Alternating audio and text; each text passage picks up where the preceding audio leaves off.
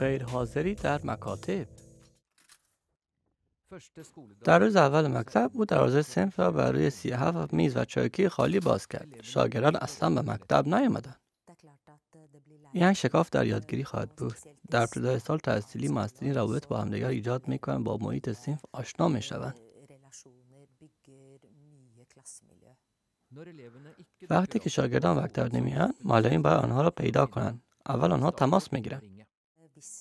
اگر آنها به تلفن پاسخ ندهند به آنها نامه میفرستیم که در آن معلوماتی درباره تعهدات آموزشی ارائه می‌کنیم و درباره مسئولیت کیفری اطلاع می‌دهیم.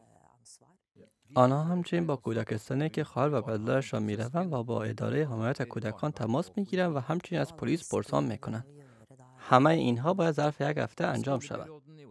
شورای منطقی مکالی و ناز درخواست کرده است تا به آنها شاگردان را پیدا کنند اما ناو به آنها نگفته است. ناو همچنین درباره کمیسیون حقوق کودکان تعهد دارد. آنها باید بهترین شرایط را برای کودکان بررسی کنند و نگویند که این کار سودی نمی‌برند. من معتقدم که ما باید رعایت حفظ حریم خصوصی والدین را در این مورد کنار بگذاریم. ناو چنین به نرکو پاسخ داد.